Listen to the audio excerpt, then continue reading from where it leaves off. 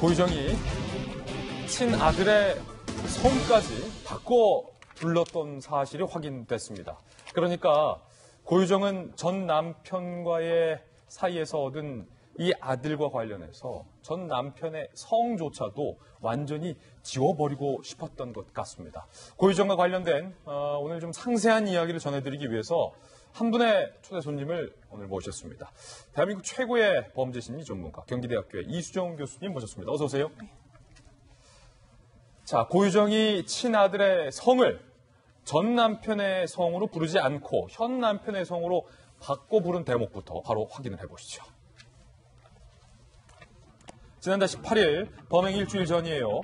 고유정이 친아들 A군과 제주도의 놀이방, 키즈카페라고 하잖아요. 놀이방을 방문했어요. 방문 기록을 쓰게 돼 있는데 거기에 친아들의 성을 A가 아닌 B로 기록을 했다라는 거예요. 그래서 저희 취재 기자들이 어? 전 남편과의 아들이기 때문에 전 남편의 성을 따라야 되는데 현 남편의 성으로 기록이 돼 있어서 저희가 재차 확인을 해봤는데 확인 결과 현 남편의 성으로 돼 있다. 그런데 법적으로 현 남편의 성으로 바꾼 것도 아닌 것으로 지금 드러나서 본인이 임의대로 성을 바꿔서 기록을 해 놨다라는 사실이 확인이 됐습니다. 이수정 교수님, 네. 이 부분을 우리가 어떻게 받아들여야 되나요? 그래서 이게 이제 범행의 일주일 전이라는데 문제가 있는 걸로 보입니다. 네. 그러니까 범행 뭐 이후라면 뭐 이럴 수도 있을 것 같긴 한데 이제 아이의 성씨를 바꾸려면 일단 친부에게 동의를 받아야 되지 않습니까?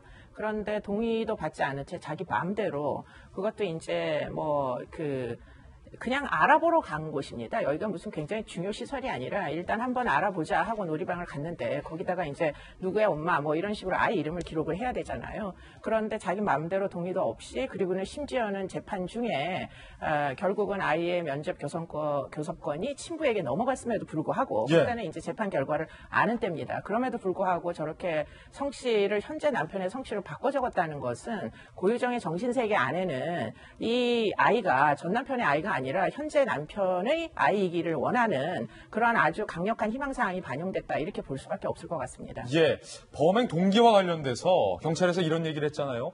어, 전 남편이 아닌 현 남편과의 어떤 가정 생활을 고유정이 지나치게 집착을 해서 죽인 전 남편을 일종의 방해물로 여겼다. 이것도 어떤 그 연장성산이라고 볼 수 있습니까? 뭐 그거보다도 지금 이제 아이와 연관된 것이 어쩌면 더 주요한 동기였을 수도 있겠다.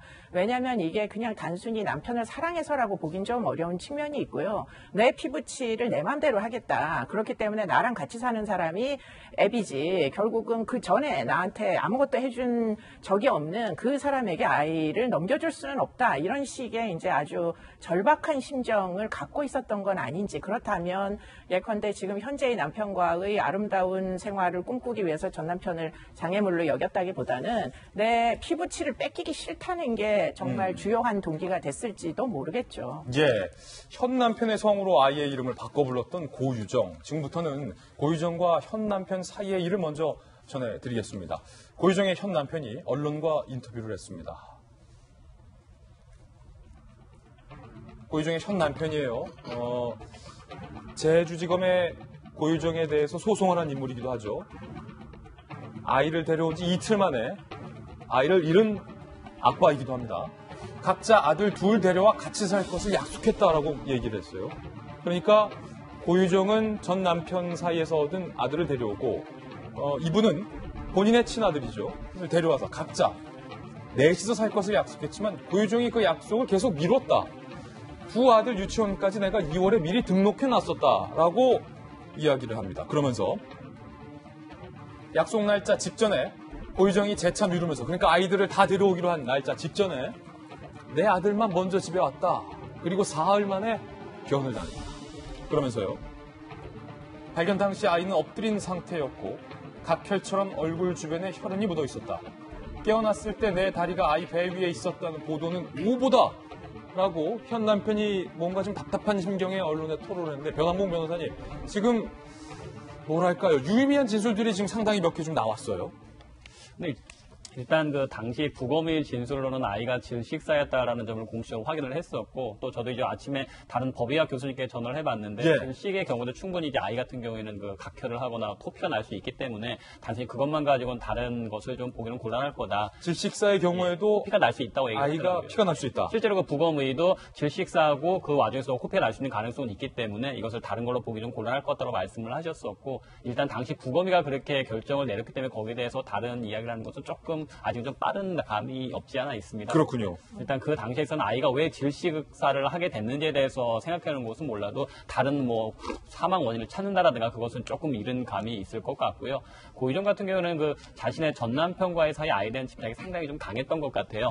근데 이제 뭐그 아까 이제 앞서 말했던 것 중에 성을 바꾸는 것에 대해서 많은 의미를 부여하셨었는데 그러니까 사실 저 같은 경우도 이제 그 성을 바꾸는 소송을 많이 하거든요. 어, 그래요? 우리 이수영 교수님 말씀하셨던 것처럼 그 친부의 동의가 절대적으로 필요합니다. 근데 그거 말고도 이제 여러 증거가 필요한데 음. 그 중에 이제 변호사로서 주로 내는 많은 증거들 중에 하나가 이 아이가 A 씨 성이지만 그래도 사회생활을 이미 B로 하고 있었다. 그러니까 학적부라든가 생활기록부에만 공식적인 성이 있을 뿐이지 유치원이라든가 학원에서 개인적인 관계에서는 너는 A 환목이 아니라 B 환목으로 부르고 있다. 그런 식의 자료를 많이 가져오라고 한다라고 요청을 많이 합니다. 그러니까 이제 아마 그런 상황에서도 자신의 아이를 끝내는 B로 바꾸기 위해서 뭐 놀이방의 기록이라든가 여러 가지 기록에서는 의도적으로 B로 했을 가능성도 많이 있고요.